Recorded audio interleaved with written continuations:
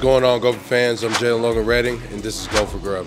Right now, we're with Angelea's. Let's go check it out, see what they got for us to eat.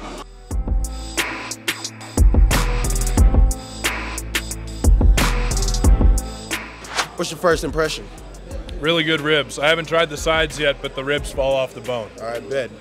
elite, man. There's no no type of competition whatsoever when it comes to Angelea's, man. The taste, the the uh, the texture is all elite, man. Every single time, they never miss. Oh, falling off the bone. Oh, oh, You gotta get close on that. You gotta get close on that. Ooh. Hey, you know it's good. Delicioso. What's your take? You know, it's really good. You know, when she was handing me the chicken, it kind of fell off the bone. So that's how you know it's cooked perfectly. Oh, no cap. It's amazing, you know. My aunt right there. I know she my aunt because she made these yams. You already know the I'm really not a big barbecue guy, but I love the ribs right now. Love the ribs, and the mac and cheese is amazing. The sauce is really good. The ribs, great. I haven't tried the cornbread yet, but I'm really excited. That's why I grabbed two of them. What you got going on right here, bro?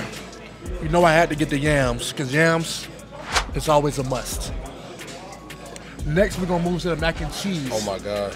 Three layer, Three layer. extra cheesy. Extra cheesy. Stay woke. Stay woke. Then we got the prime ribs, I already know the deal. cut nice, seasoned, Yes. seasoned very well. Oh my God. Very tender and juicy. Mm-hmm. Get at us. Angelea's is a must. It's a must. See this plate? What? I'm gonna go crazy.